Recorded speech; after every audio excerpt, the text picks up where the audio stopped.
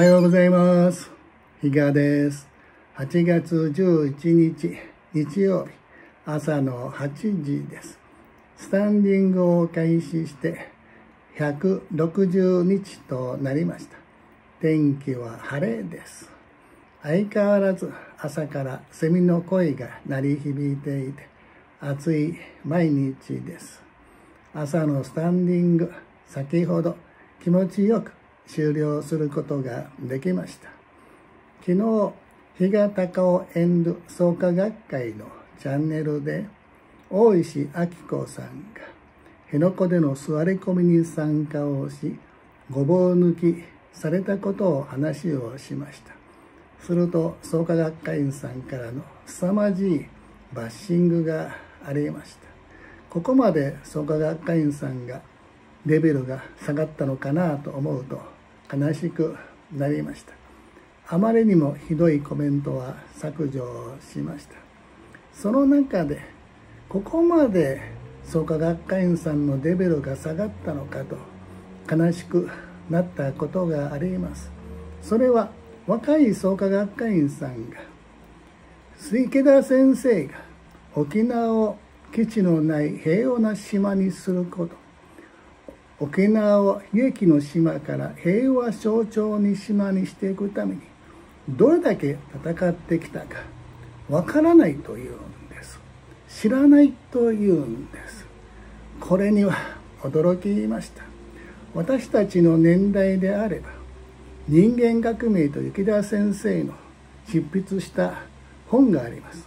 その人間革命の一節の冒頭戦争ほど悲惨なものはない。戦争ほど残酷なものはないと。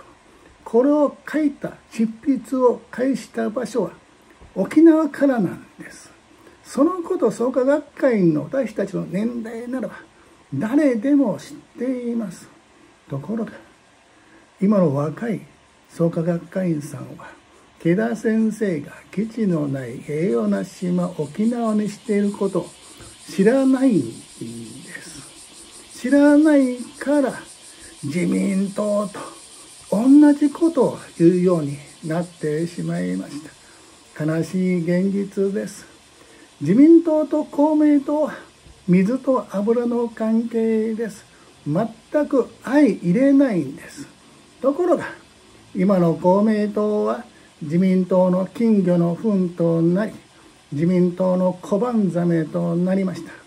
全く自民党の言う通りに公明党は政権与党にいるためならば自民党にはいはい従うようになりました。悲しいことです。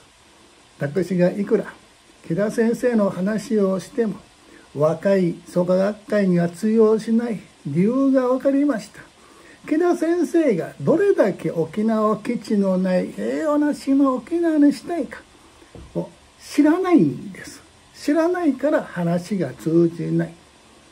よく言います。若い創価学会の方は中国が攻めてくるだろう。そのためには武器が必要なんだ。沖縄には基地が必要なんだ。米軍基地が必要なんだと言います。先生は中国国交が正常化されない前から中国に訪問をし金の橋を作ったんです。その金の橋をぶち壊しているのが若い創価学会員さんです。よく昔言いましたよ自民党から。中国中国ってよ池田先生が平和のために戦っているってよ。あれどうにかならんかよお前って。よく私言われましたよ。いやいや中国と友好していくべきです。世界平和が大事ですとよく話をしたもんです。今の若い創価学会員さん自民党と同じことを言っています。中国が攻めてくるから米軍基地が必要なんだって。池田先生の指導は消えました。よくそんなね相手が中国だからこっちも武器を持たんといけないんだ基地が必要なんだと言いますそうなってきたら軍拡競争になってしまい戦前の日本と同じような道をたどりますですから池田先生は対話対話だと言ってきたんです。で今の若い創価学会員さんは対話対話で平和なんか築けるかよ。中国と攻撃するためにはミサイル基地が必要なんだって平気で言うようになりました。あるいは木田先生が基地のね平和な島行ったってそれがどうしたんだよ。それは間違ってるという始末です。ここまで来たのかなと思いました。私は自民党があっぱれだと思います。かつて石原慎太郎都知事は言いました。公明党を切れと。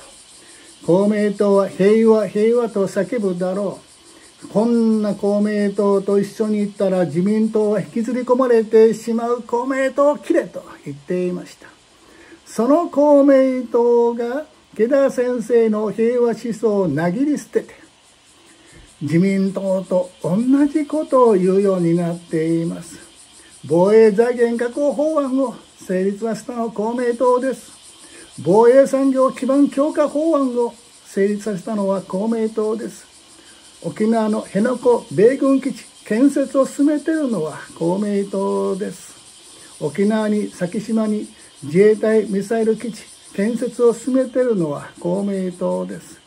今頃、石原元東京都知事は、公明党創価学会よく頑張った。これでいいんだ。